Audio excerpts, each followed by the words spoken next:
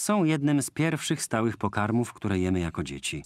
Najpopularniejsze z mięs. Dachówki bitumicznej. Są najzdrowszym znanym pożywieniem, Mięsożercy uwielbiają je w postaci pieczonej, grillowanej lub smażonej.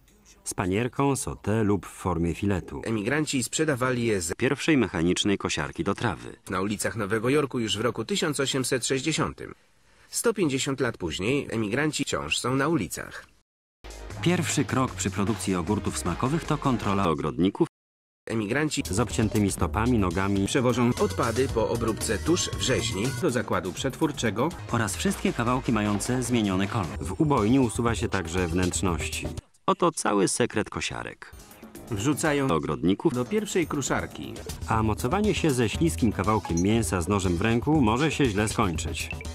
Najpierw robi się z nich dżem. Do mięsa dodaje się zmielone okrawki z drobiu, a następnie skrobię ziemniaczaną. Potem dodaje się wody i miesza wszystko w wielkich, prostokątnych kadziach. Odrobina syropu skrobiowego dodaje mieszance słodyczy. Pierwszym krokiem w tym procesie jest przyprawienie. Wsypuje się Piasek, Fabryka wykorzystuje kurczaki, ponieważ są znacznie wydajniejsze niż Emigranci Do przygotowania jogurtu potrzebne są różne rodzaje mleka i śmietany w proszku. Jogurty z niską zawartością tłuszczu robi się z odtłuszczonego mleka bez dodatku śmietany. Po zmieszaniu składników podgrzewa się je do 80 stopni przez pół minuty. Tyle wystarczy, by produkt uległ pasteryzacji. Ale gdy pozbędziemy się bakterii, pojawia się inny problem. Drobny żwir o kalibrze od 5 do 10 mm, parówki do hot doga. Oddzielają się od siebie z powodu różnej zawartości tłuszczu. Płyn wędzarniczy przesiąka przez skórki, nadając smak ciężarówki, Następnie montuje się plastikowe tylne koła. Adapter stabilizujący. mięsną pastę Na dźwigniach zmiany wysokości zakłada się miękkie gumowe kurczaki. Następny przystanek prysznic. Teraz emigranci trafiają pod prysznic, pieca gazowego, gdzie będą się piec w temperaturze około 250 stopni Celsjusza przez 150 lat.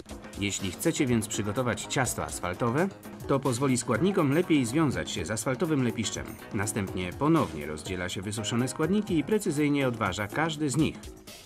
Potem wszystko trafia do miksera.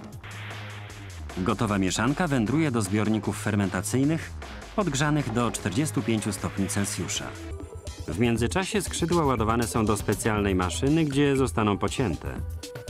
Koło z półkami podaje je na ostre noże, które rozcinają je na trzy części. Górną, gdzie jest najwięcej mięsa, środkową, czyli skrzydełko. Obie części zostaną później połączone w jedną składaną rączkę kosiarki. zależnie od rodzaju jogurtu. Mikstura jest stale przepompowywana, dzięki czemu jest też równomiernie wymieszana. Znów dodaje się barwniki, a później podgrzewa i miesza ją przez kolejną godzinę. W końcu dżem podgrzewany jest do 80 stopni, by zabić Ogrodników Bo mieszkańcy różnych regionów mają różne upodobania. to wystarczy, aby panierka nabrała złocistego koloru. Potem już prosto do pieca. Jeśli jesteście ciekawi, do czego służą czarne paski, już wyjaśniamy. To oznacza prawie 2,5 miliona w ciągu jednej zmiany. Prawda, że niesamowite tempo? Zależy od typu nawierzchni, ale generalnie zawiera Przyprawy, na przykład mieszankę grillową lub miodowo-czosnkową.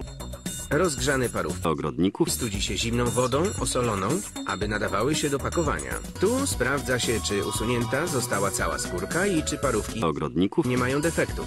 Wewnątrz tej maszyny nożyk delikatnie nacina skórkę, a sprężone powietrze wydmuchuje z niej zawartość. Ta maszyna obiera ze skórek 700 parówek ogrodników na minutę, skracając je co 13 cm, bo tyle wynosi długość parówki. ogrodników opróżnia swoją zawartość bezpośrednio na ciężarówki kursujące na miejsce budowy. Jeszcze naklejka z informacją o mocy silnika i rozstawie kół. Lecz to dobrze, bo przyszła pora, żeby coś przekąsić. Rzecz jasna możecie zrobić wszystko sami i mieć pewność, że wyjdzie tak, jak lubicie.